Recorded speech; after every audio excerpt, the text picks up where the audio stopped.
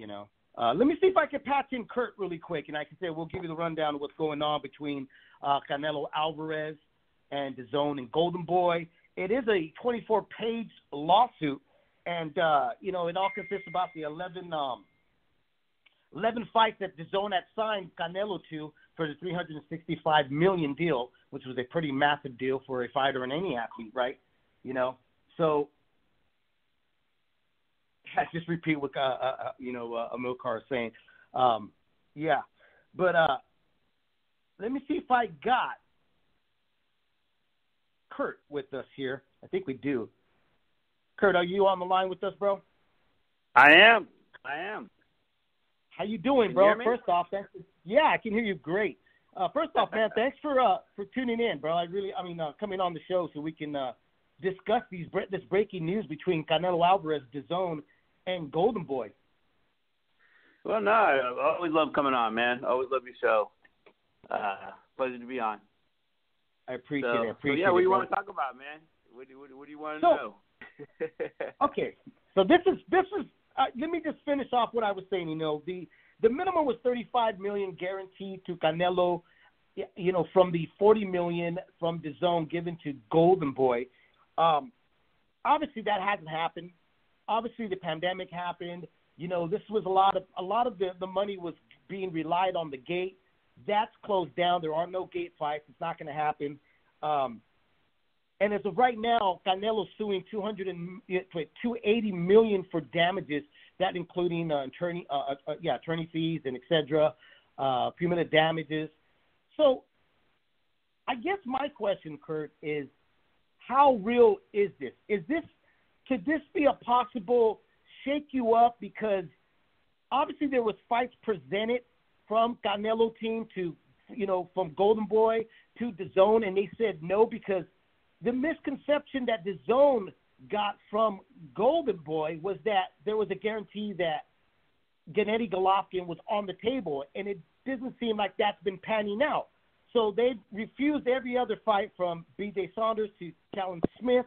You know that now they're saying that it's not premium. Those are not premium fights. The premium fight would be fighting two UFC superstars or fighting his own promoter, Oscar De La Hoya. So again, my question is, how real is this? Is this Canelo's way of saying, you know, if you guys don't follow through with this, um, you know, I'm going to sue you guys. You guys got to come through and and and, and deciding, uh, or not just following suit of who I want to fight next.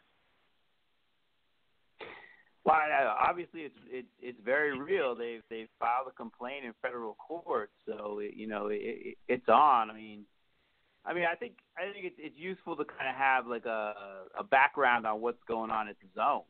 Um, you know, DAZN just laid off a ton of their uh, their U.S. staff. Um, you know, when when the pandemic hit, they stopped paying rights fees with various sports leagues around the globe. You know, until they resumed their seasons. They canceled Major League Baseball changeup, the MLB changeup, the baseball program they had, and they hyped. And that was, you know, uh, only after one year of like a three-year deal. They don't have any any fights scheduled in the U.S. for the rest of the year right now. Uh, though there's a rumors that that Devin Haney and, and, and Danny Jacobs, Triple G, you know, those, those fights might get announced, and and you got a rematch maybe with uh, Juan Francisco Estrada and Chocolatito that might be in Mexico. Right. Those those might those might might be coming up, but clearly DAZN is pulling away from the U.S. operation. They're focusing on their global reach. You know, rumors are, you know, you hear rumors that they're looking to raise money or, or that they're looking to sell the whole thing. So you know, against that that backdrop, we've got this mess with Canelo. You know, and then in all honesty, it's really hard to comment on the suit without seeing either contract. You know, but either Right. the one between DAZN and Golden Boy, or the one between Golden Boy and Canelo, because it's any breach of contract suit. It really comes down to the language in the contract. But but from what we know in the press, you know, like you said, I mean, after the Rocky Fielding fight, DAZN was was supposed to pay Canelo thirty five million a year for his next ten, you know, or thirty five million a fight for his next ten fights, two per year from 2019 through 2023. What we don't know are, are, are the conditions that they put on those fights. You know, if there's any wiggle room on those guarantees.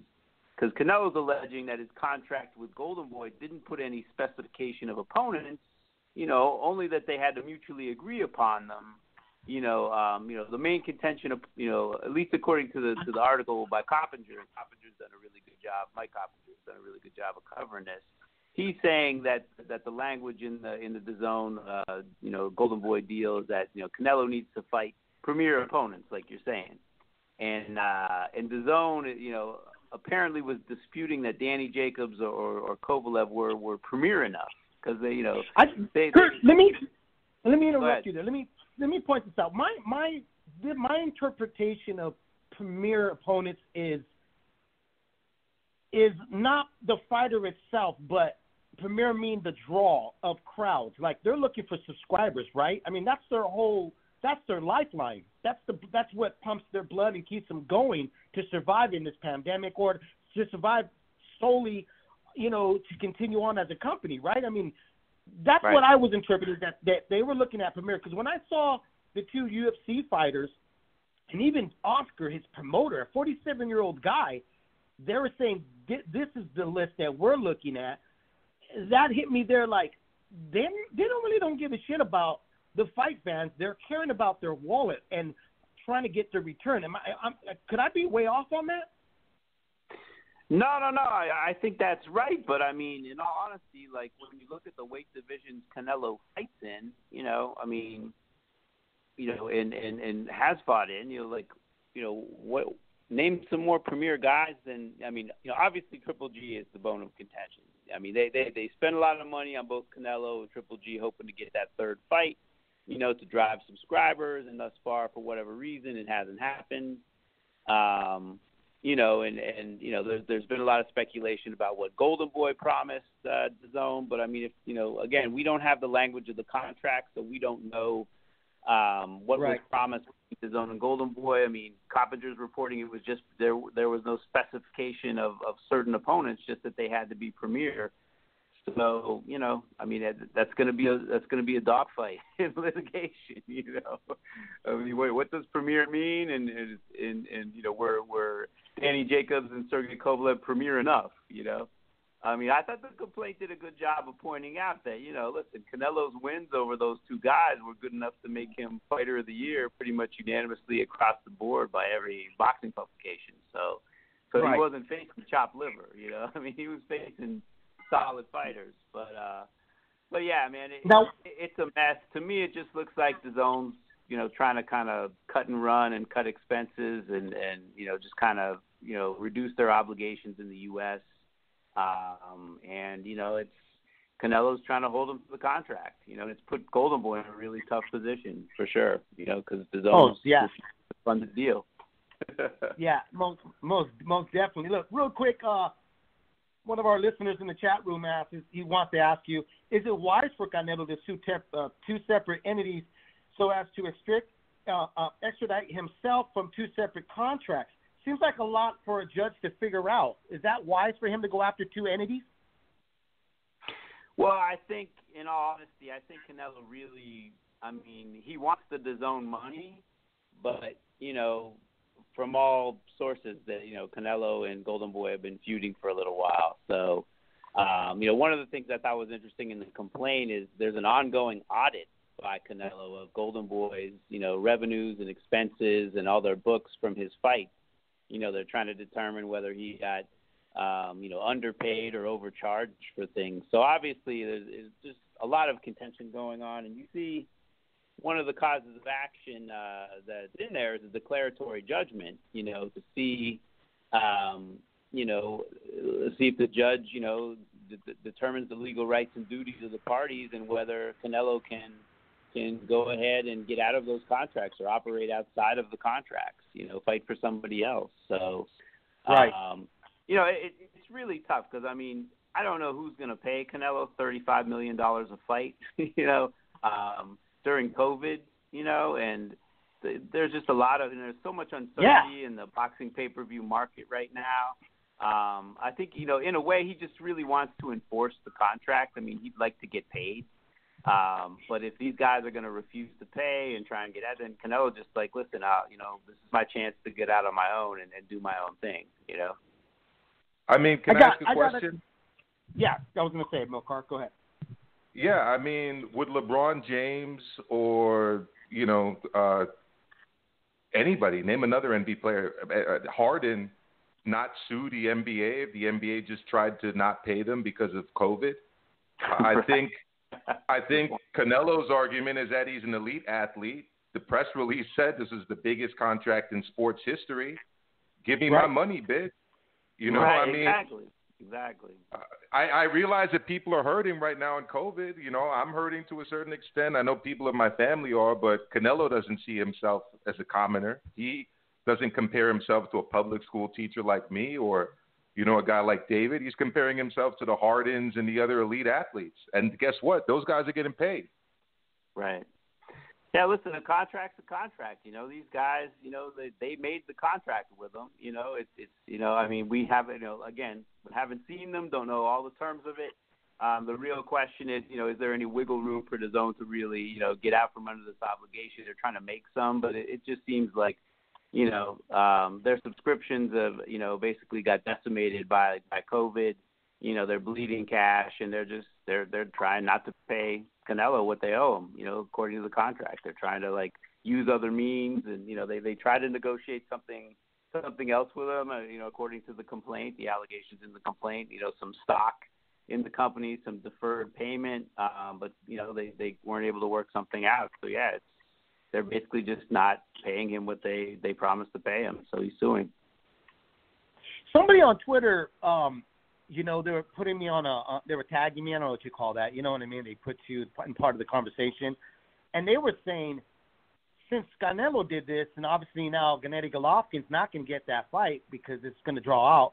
I mean, you know, I mean, Canelo's possibly going to leave DAZN does that line up for Triple G to file suit against DAZN as well? Because the promise to him was that he was going to get the third fight with Canelo Alvarez. Does he have a strong case there, Kurt? I mean, again, you know, I'd have I'd have to see the contract that that Triple G Promotions and and Gennady worked out with DAZN. I mean, I, I don't know if they're again if they had promises of a specific fight with Canelo or uh, or just you know premier opponents. Um, I you know I, I I mean I think they are working out a date for Triple G um, to fight on DAZN. I mean that that's the rumors I'm hearing. Uh, probably sometime right. maybe October. I don't know. Um, but uh, but you know yeah I mean listen if, if they're also balking at paying him or meeting their obligations, yeah, well, of course absolutely you know he's got grounds to sue if they're breaching the contract for sure. You know. Um, but again, we'd have to see the contract and if there's any promises of a specific fight with Canelo. I mean, um, from from Coppinger's you know uh, reporting, you know, you know what what he knows, he's saying that you know there wasn't any specific mention of Triple G in the DAZN Golden Boy contract, but again, we don't know. Yeah, it seems to me they're going off a lot of hearsay, saying that like Golden Boy um, inserted the name Gennady Golovkin to DAZN. But I mean, I mean, you deal with a lot of contracts. I mean, you know, you're a lawyer. I mean, uh, is is that's not common, is it, to put somebody's name in the contract as a as a future promise? I've never seen that done. I mean, I've never dealt with that. No, no, no. It definitely, it, it, you know, I mean, depending on the length of the contract, this is a really lengthy contract. Um, but I've done contracts with fighters where you know you you um, there is a specific you know if your fighter wins this fight you know then you know he will have to fight you know X or X. I, I've done those deals. Um, it's it's you know I mean everything's negotiable. It's boxing, you know. so hmm. uh, it's possible that they do have specific fights in there. I mean obviously um, the danger of that is if someone gets injured or what have you. I mean, you'd have to provide for those contingencies, or or you'd also have to get the other party to agree to the fight. So it's that's why it's very possible that uh, Golovkin is not in there and Canelo is not named in the Golovkin deal, um, because you know you you pretty much if you're going to like make that deal, you have to get the signatures of everybody involved and and and have them obligated to to fulfill that contract. Otherwise, you know, you're you're you're I mean, you're kind of making a, you know, a, an agreement to to agree. You know, I mean, you know, some right. that you're going to, you know, it's not really binding. So, So yeah, I mean, it yes, it's possible that specific names go in there, but you have to pretty much have all the parties agree to that if you're going to do it. So you got to get wow. sign off. What a mess! what a what a mess! Well, you, you know, know, what? To, to me, it's just such. It's you know, I mean, a few years ago, you know, I mean, in 2018 when DAZN came in, I mean, what got me excited was that you had, you know, and you had PBC getting their deal, uh, Top Rank getting their deal. You had more money in boxing than probably in the history of the sport, and there was just so much potential, you know, to to really raise the sport to another level. You know, like if right, if, you know, if fighters and managers and promoters had cooperated and and had like the best fighting the best, you know, on, on a consistent basis. You know, I made this argument a million times. Like, you know, if they'd all gotten together and kind of followed the lead of the World yeah. Boxing Super Series and just did that for every division and put all those, you know, spread those fights out on all these different networks. You know, we really would have had. A, I mean, boxing would be a major sport again. You know, I mean, I'm I'm pretty sure of that. But since you just had all these separate deals and nobody really cooperating that much. You had a few big fights that got made, not all of them got made. You know, now COVID hits and you know DAZN looks like you know they're they're pulling out. You know, it, it really looks like they're pulling out. They they're gonna like fulfill whatever obligations they can. They're gonna try and get out of the Canelo one. It's just not looking good. You know, it's not looking good. And, and uh, yeah, the they, ratings they are realize. down, and I'm like I'm like in the dumps man. yeah. you, you know, I mean, it's it's it's almost like they realize that you know the honeymoon's over, and they're like, you know what, this is not what I thought it was going to be. I, I I want out. I, I need to get out. You know. Um, well, COVID I, just dec- decimated the subscriber base, and without the subscriber base, you know, they they couldn't really, um, you know, make a bid on on the other major sports. So yeah, the the whole U.S. operations of DAZN, I think, have have, have really hit a wall. Um, and uh, it looks like they're just going to cut and run a little bit. You know, I mean, I hope not. I hope that they're they they just you know are, are trying to you know do what they can to save money, and then you know once you know things return to normal, they they get back and have an interest in boxing here in the U.S. and and spend the money. But it's not looking good, man. You know, it's not looking good. Here's a good here's a good question from you uh, for you from Troy Williams. So what does this lawsuit mean to me as a subscriber? Does it mean I'll be watching darts and crickets on DAZN until my year is up? I'll tell you what it meant to me. I tell you what it meant to me as a subscriber. I canceled, and I immediately right. I immediately put in a chargeback dispute with Amex.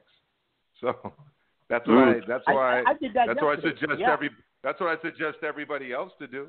You know, take that mm. screenshot, take that screenshot, you know, of, of, of a day when they're not showing anything because there's a lot of black blacked out days on their schedule. You know, submit that Canelo article and and get you get your money back. Yeah, get your money back for sure, for sure. Yeah, I mean, listen, I mean, I I don't know. I mean, I I I I totally understand that sentiment. You know, I don't I don't want to you know turn this call into like you know throwing eggs all at DAZN. but the bottom line is, listen, you know, you only have so much money, you know, to spend on boxing, right? I mean, that's that's always been an issue when when you've got pay per views and you you're you're doing the subscription thing with DAZN. And if DAZN, you know, is is I mean, right now you look on the boxing schedule and they've got like one fight in Britain, you know, scheduled the, the Lewis Ritson fight in October, and I don't see anything hmm. for the rest of the year. And again, I, you know, I, I'm not saying that there's not going to be fights. I've heard that there's they're, they're going to have like you know maybe three or four fights uh, that are you know in North America or involve fighters like Triple G who who you know are based in North America now. But uh, but yeah, man, it's not like it was last year. You know when they had a, a, a tremendous schedule, or the year before that, like at the end of the year, where they really had great fights in, in the fall and winter. So you know you you do well, have I mean, to like, a... ask yourself, what am I paying for? You know, and if they don't have Canelo, right. you know. You know, I mean, I, I think Anthony Joshua's going to fight. I mean, there, there are some fights, you know, of, of interest to me that are that are going to be on for the rest of the year. So I'll probably stick around. But, um, but yeah, listen, I don't blame Milcar, and I don't blame people who are who are very disappointed in what's going on. I apologize, Hap. Like I said, I don't know what happened with the Skype. It just, uh, I mean, I'm on it, but it's not working, so I had to put the audio through my phone. But I will upload the audio after back on YouTube so you can hear everything clear. But unfortunately, right now is what all I could do because um, I can't log off and then redo it again. Um, going back to my thought with with going back to what you were saying, uh, Kurt, uh, about DAZN having a great schedule in 2018-19. I mean, they obviously they had a plan. You know, and the pandemic hit. I had said this yesterday. I mean, on Mon- on the Monday show, I was just like, it was almost like because of the pandemic, nobody decided to get creative, like the way Top Rank did and PBC and Showtime. They seemed to, to work out these this situation. They understood where they were at, and then they they they got a team together and they moved forward. Where DAZN didn't do any of that. I mean, I guess I guess my my thought of them is that they behaved like a broadcaster, unlike the way like HBO and Showtime uh, started behaving later on in the when they got involved with boxing, which is more like a promoter. To me, I kind of felt like maybe DAZN should have stepped up and started acting more like a promoter and not depend on Eddie Hearn and Golden Boy to do this. Because to me, they it, obviously they dropped the ball with DAZN and, and having a backup plan or not even presenting, or maybe they did. I don't know what they what they did show DAZN where they weren't even happy with it and they didn't want to, you know, uh, uh, televise it. I mean, put it on their their network. I mean, it, there's so much involved in this that it's. I mean, everything's got to be going. Hmm. I don't know, man. You know, I wish I was that fly on the wall to hear. You know what I mean? The conversations of of what was going on. Yeah, listen. I mean, you know, it's it's. I mean, I you know, the promoters, you know, like Eddie Hearn, I thought he, I thought he delivered. You know, I thought that those fights at, you know, at, at, in his backyard, literally in his backyard, I thought they were great. You know, I mean, he, he they really put some great matchups on there. A couple fight of the year candidates. Um, you know, big upset with Dillian Whyte.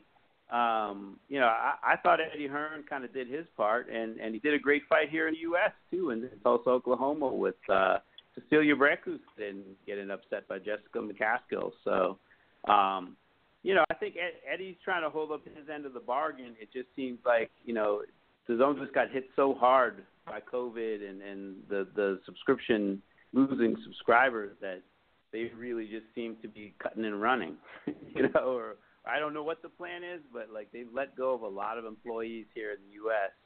And if right. they're like balking at paying Canelo, that's not a good game plan to to continue doing their uh their I mean he's like the linchpin of their boxing plan here in in DAZN USA. So um yeah, I mean I it's you know it's, it's not looking good. It's not looking good. Looks like they're they're God, pulling I mean, out instead of digging in. And your best and, and your ex, you know expertise can you give me what what do you think the draw out of this lawsuit is going to happen? I mean, listen, you know what? I, I mean, I, in an ideal world, DAZN would be like, all right, you know, it, it's come to a lawsuit. You know, we don't want this to drag on. Um, you know, we're going to live up to our contract. We're going to put the fights on. Um, you know, or and, and maybe they come up with like a date certain for for Golovkin next year. Um, I mean that that's that's a reasonable outcome, but I, I really don't know DAZN's desire to like just save money and not spend anymore. I mean, I don't know. Maybe they let Canelo go. I don't know. I, I really don't know where their heads at. Um, I would I would like to think that they're going to resolve this and they're going to find a way to to make Canelo happy and, and keep him on the deal. Um, but you know, it's it's it's you know, I, I don't think it's going to go to trial and all that. I think they will settle it out. Um, it's just it's going to be interesting to see what happens. You know, are are they going to live up to their obligations, or are they are they going to let Canelo go, or, or are they going to reach some sort of settlement in between? Um, you know, it's it's it's kind of hard to say. I mean, I'd really like to see them settle it out and just you know resume the contract, but uh, I don't know what their willingness is. I mean, it's certainly not a good look for them this lawsuit at all. so no, uh, you know it's it's it's it's a big PR hit to them, and you know, it's, it's it'll be interesting to see how they respond. You know, I mean, it's, it's it really depends on what their plans are. If they if they're just cutting and running from the from the U.S., then uh, then maybe they they just uh, just release them. You know, um, but if they they plan to stay in, they've they've got to meet their obligations, uh, it'll be interesting to see how it works out. I hope it works out quickly, but but we'll see. Normally, how long? I mean, normally when you see a case like this, I mean, with Mikey Garcia, it drew out what two years. I mean, could could we end up seeing this again, a two year uh, wait to see Canelo get back into the ring? Do you think? Well, I mean, again, you know, there's in the complaint there's a declaratory judgment. Um, you know, the, you know they're asking for a declaratory judgment, but generally in breach of contract cases, if you're not just bringing a straight declaratory judgment and the judge sees that it's a that it's a, a, a really a, a contract dispute, then they're not going to like go to the declaratory relief right away. I mean, they're just going to resolve, you know, um, you know, the the breach allegations. So it could go it could go a long time. You know, you know, I mean, it's, obviously they're going to be fighting over, you know, the definition of premier. if if copy right. articles are, you know, are are on point. Um, so you know that that's something that would go to a jury. You know, I doubt very seriously they could resolve it by uh, summary judgment or a motion to dismiss. So, um, so it'll be interesting. It'll be interesting. I mean, one thing that you know, Canelo. I mean, there, there's a lot of wrinkles to this. Like, um, you know, I, I know most most promoters at this point in time, probably Golden Boy and and, and Top Rank. I mean, they, they all have like choice of law and and choice of venue um, clauses in, in their contracts, and most, you know, I think. I mean, I don't know. I, I, I don't. Again, I haven't seen the contract, but I would think that they both. Right. It's it's Nevada law, so this this suit was filed in California. It may get removed. Uh, I don't know if there's an arbitration clause in there that it may, you know, get sent to arbitration. Uh, but one one move Canelo's lawyers could make is, is is to try and like you know while this suit is is pending, you know, to to allow, you know, have some sort of agreement between the parties to allow Canelo to fight and fight on another, you know, network or fight on pay per view. Um, but you know what that agreement looks like, you know, I'm not sure because DAZN is like anti pay per view, and allowing him to fight means he could also get beat, right? And you know, the, you know, even if they want to resume the contract, that that might put it in danger. So they may fight that. So so it's gonna be it's gonna be a tussle if they don't settle it right away. Yeah, it, it could definitely get ugly. But uh, I oh, hope I Canelo's hope back in the ring before the end of the year. Yeah. I hope they they can settle their differences behind closed doors and and we can get them back in the ring and see these real premier fights that boxing fans want to see Canelo fight. Um, again, in the chat room, Nato asked, with this lawsuit going on, I mean, does that prevent Canelo surfing to another promoter and getting a fight? I mean, or or he's locked until this is cleared. Yeah, I mean, listen, he's he's under contract to, to Golden Boy, and and and and he's agreed that all of you know his his fights will be on DAZN. So in order for him to fight on another network, there's got to be something worked out with DAZN. Um, so yeah, until, until that would be, that would that would be a um a breach of He'd his be contract. right? that, yeah. I mean, yeah, or Yeah. Golden Boy would be breaching the agreement. So, and Golden Boy, yeah, might have to like, you know, try to enjoin Canelo from fighting if uh if he's trying to do that without them involved or or off his own. But but yeah, I mean, like I said, Golden Boy in a really tough spot. You know, I mean, they they're on the hook for for this, you know, 35 million because DAZN promised to fund it, and and now they're not funding it. So, um, you know, it's it's it's crazy. It's crazy. But uh, but yeah, I mean, the parties would have to work something out for Canelo to to actually uh, fight on another network. You know, I think he's obligated uh, under the agreement to to to fight on uh, DAZN. Well, there you go, man. Kurt, again, I thanks thank you a lot for coming on, leaving the ring, and uh, answering these questions, bro. I look forward to speaking to you again, bro. Always a pleasure, David. Always a pleasure, man. Be well. You too. Take care. Well, that was interesting. Yeah, I mean, I wanted Kurt because he he is a boxing lawyer and he's worked with contracts and he's um, you know, I know I forgot to tell Kurt uh